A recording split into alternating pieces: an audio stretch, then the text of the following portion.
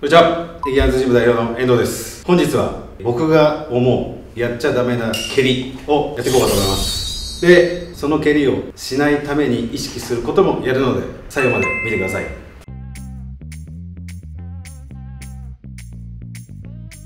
はい。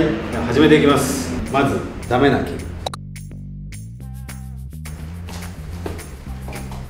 この体の重さを使って蹴っちゃう。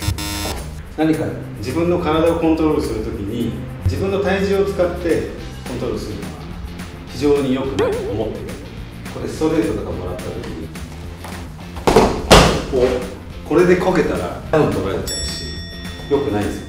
体重を使ってこける。100%ダメではないです。場合によっちゃいいんですけど基本をこれで蹴ってると絶対に良くないです。場合による蹴り方だとしたら相手が前に出てきていなしてこれ蹴るとかそういう使い方はもちろんいいんですけど状況に落ち着かう分にはいいんですけどつま先と頭が同じ位置線で結んだ時だった方がいいのでしっかりまっすぐまっすぐこっちいいっす。しっかりまっすぐ軸はまっすぐ。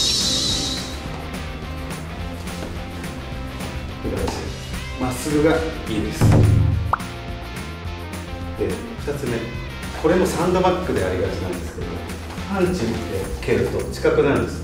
これがサンドバッグだとしたらワンツーフックキック。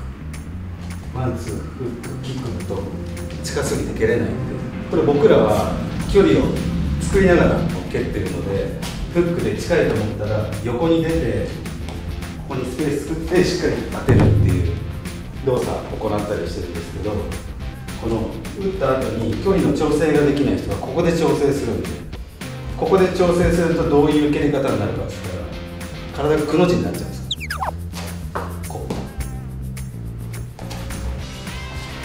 ういうですこう。腰に引いちゃう。グッとこう。よく見ると思うんですよ。サンドバッグで。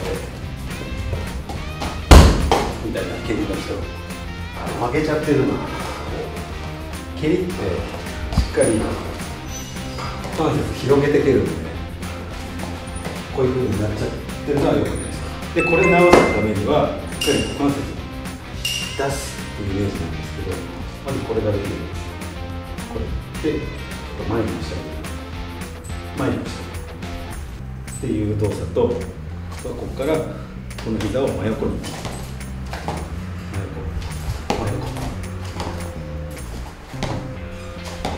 れができるようになると蹴るときにしっかりここの角度で入れるんでこれを練習しても鏡見てここからこうこの足もこっちの軸足も大丈夫もうこ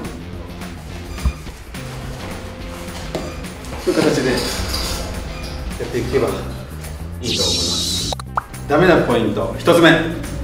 自分の体重を使って蹴る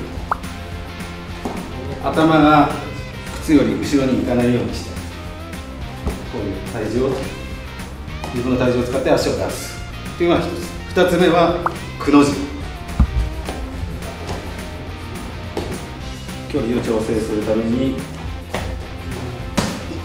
くの字になって蹴るのはやめましょう。